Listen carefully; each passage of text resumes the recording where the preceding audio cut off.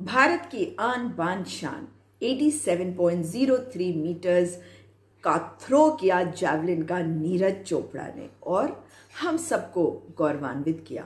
मगर एक इंटरव्यू में उन्होंने बताया कि पहला वाला थ्रो उन्होंने जल्दबाजी में किया क्योंकि वे अपना जैवलिन नहीं ढूंढ पा रहे थे, जो उन्होंने पाकिस्तान के प्लेयर अरशद नदीम के हाथ में देखा।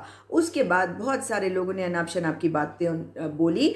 तब उन्होंने कहा कि वो बहुत डिसअपॉइंटेड हैं लोगों के इस प्रकार की प्रतिक्रिया पर। 1936 के ओलंपिक गेम्स में चलते जो हिटलर की जर्मनी में हुआ और हिटलर वहाँ था, वो अपनी रेस को सबसे सुपीरियर समझता था, दूसरों को नीची नज़र से देखता था। अमेरिका ने एक ब्लैक व्यक्ति उसको भेजा, उसका नाम था जेसी ओवंस और जेसी ओवंस को बहुत ही बुरा महसूस करवाया हिटलर ने। और इसी कारण से जब उस, उसकी बारी आई लॉन्ग जंप की तो उसने पहले दो फाउल कर दिए। उस समय लस लॉन्ग उसके पास गया, उसके आत्मविश्वास को बढ़ाया और उसे कहा कि वो पीछे जाकर फिर छलांग लगाए। उसने मदद करी।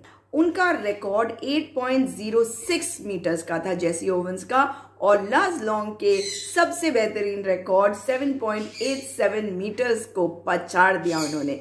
लाज लॉन्ग को सिल्वर मेडल मिला और जेसी ओवंस को गोल्ड मेडल मिला 1936 के ओलंपिक्स में।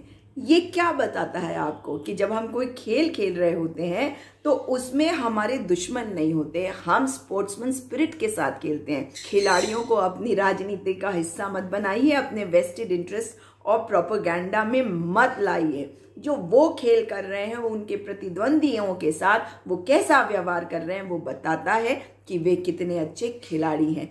आपका तो पता नहीं पर मुझे बहुत गर्व है नीरज चोपड़ा पे। हाँ आप लोगों ने तो देश में ही अपने साथियों को देशद्रोही कहना शुरू कर दिया है। खिलाड़ियों को छोड़ दीजिए। खिलाड़ी खिलाड़ी होता है और खेल के मैदान में केवल प्रतिद्वंदी होते हैं। दुश्मन नहीं।